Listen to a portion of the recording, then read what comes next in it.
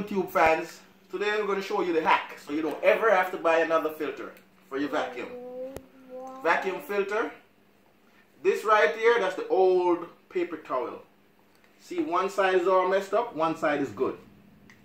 So basically, you take paper towel, you double it up. This is two, this is this is half a sheet.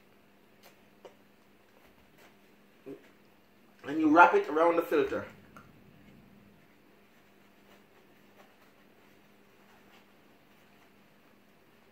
One rubber band in the middle and one on either hand.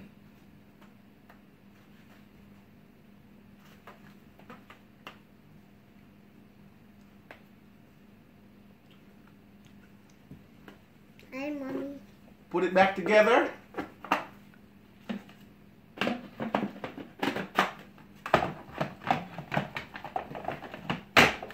And every time you vacuum, you just change the filter. Don't ever buy a filter again. I mean, you just change the paper towel. Hi, mommy. That's it.